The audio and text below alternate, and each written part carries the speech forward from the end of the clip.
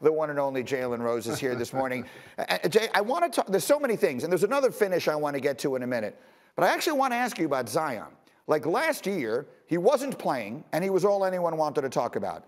This year, he's averaging 26 points a game, shooting 62% from the floor. He had 34 last night, and I don't hear anybody talking about him. What is Zion right now?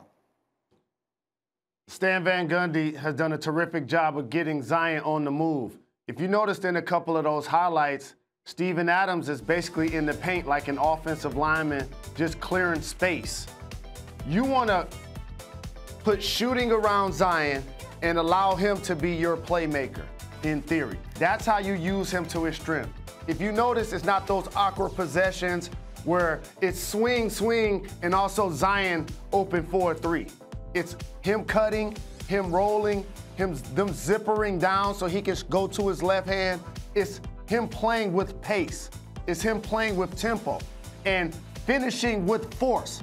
He had 30 points in the paint. Mm. 30 points in the paint. That's Wilt Chamberlain. That's Wilt Chamberlain like. Yeah, again, that's why he's shooting 62% from the floor. So he's having a terrific season. But again, their team, that was a terrible final possession.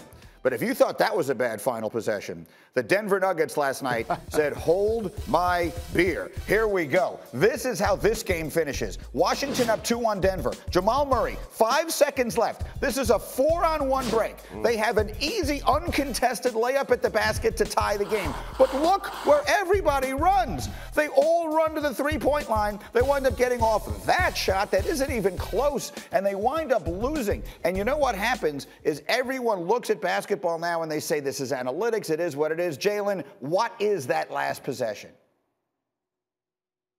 A lack of professional basketball IQ. I hate to break it to fans and members of the media, and it's not just in the pros. Sports is actually a kid's game. And you know what people do more than you realize? They play like we're not keeping score. And then all of a sudden you look up the last two minutes, oh, like, oh, it's a close game. Let's try to win the game. Think about the Pelicans game. They were down three and ended up going for two.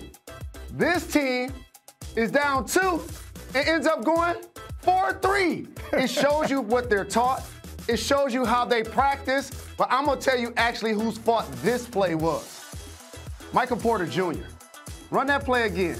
Yeah. He's six foot ten, Greeny. Yeah. Jamal Murray has the ball on the left side. When the defender commits, that's his dunk. That's his dunk. Not the guy who's the undrafted rookie shooting it.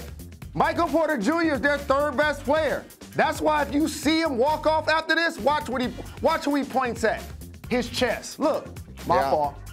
Cause he knows he should have been the guy to take that layup or a dunk.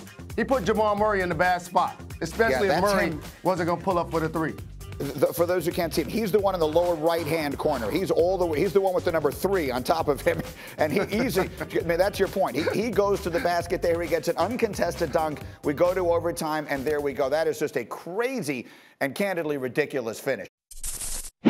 Thank you for watching ESPN on YouTube. For live streaming sports and premium content, subscribe to ESPN Plus.